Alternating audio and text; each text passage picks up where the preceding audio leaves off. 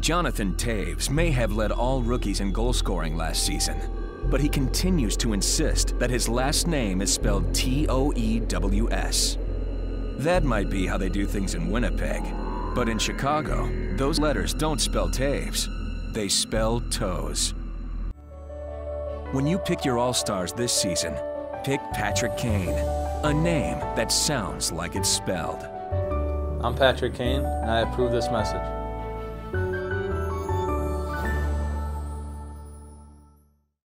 Patrick Kane may have won Rookie of the Year, but what about his claims that he played junior hockey for the London Knights? Everybody knows they don't play hockey in England. They drink tea and watch soccer. Why don't you tell us the truth, Patrick? Have you ever even been to London? When you pick your All-Stars this season, pick Jonathan Toews. He won't lie just to make himself seem more cultured. I'm Jonathan Toews, and I approve this message.